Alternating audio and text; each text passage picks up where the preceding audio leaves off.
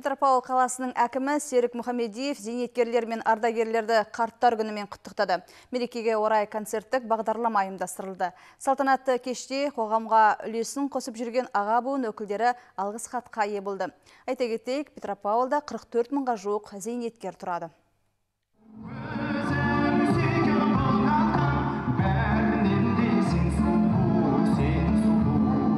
Мерекелік концертте қазіргі зейнеткерлердің жас кезіндегі әндер шырқалды. Өткенді еске алған қарттар замандастармен шүйіркелесіп, бір сәт көңілдері сергіп қалды. әрбір қария ол біз үшін қазына өйткені олар өздері ғана еңбек етіп тәуелсіздіктің алғашқы жылдарында қиындыққа мойымай осы еліміздің өркендеуіне үлес қосты.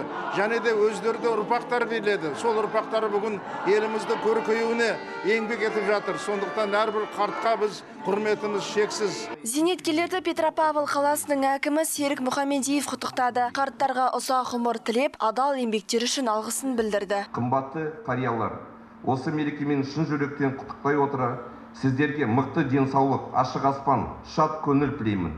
Өмір жастарыңыз ұзақ болсын сіздер әрқашан құрметке лайықсыздар Мерекеге орай шаһардың әлеуметтік экономикалық дамуына үлес қосқаны үшін үш ардагерге қала әкімінің атынан алғысқа табыс етілді. Марапатқа ие болғандардың бірі Зулейха Бекметова. Зейнеткер қазіргі таңда нөмір 17 ұлттық өркендеу орта мектебінің бастауыш ардагерлері ұйымының төрағасы.